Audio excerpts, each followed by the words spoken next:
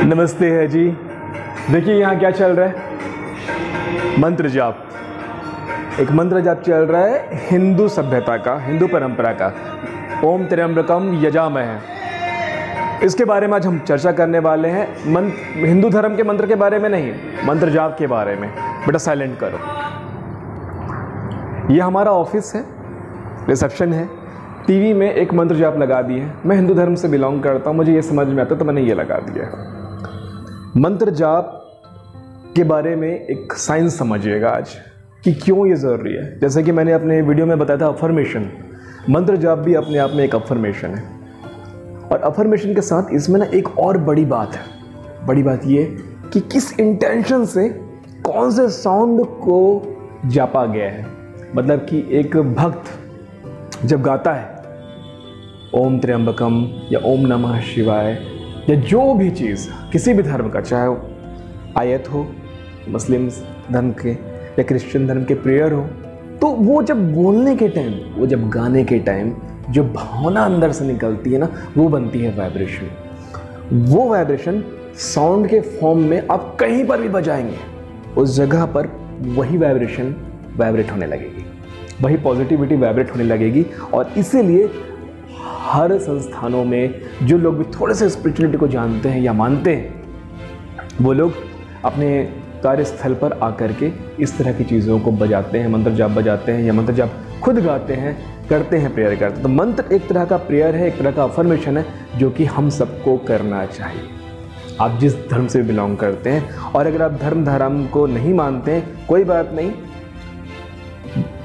Spiritual होने के लिए धार्मिक होना ज़रूरी नहीं है। अध्यात्म और धार्मिक अगर कोई इंसान है तो वो स्पिरिचुअल हो सकता है। तो मुद्दा यह है कि आप कहीं पर भी काम करते हो, किसी भी जगह में भी काम करते हो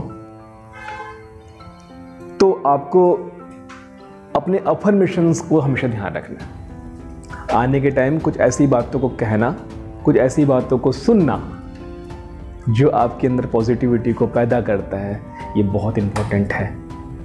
और लाइफ में अगर हमें आगे बढ़ना है तो सबसे इम्पोर्टेंट बात यह है कि हमें पॉजिटिव रहना होगा।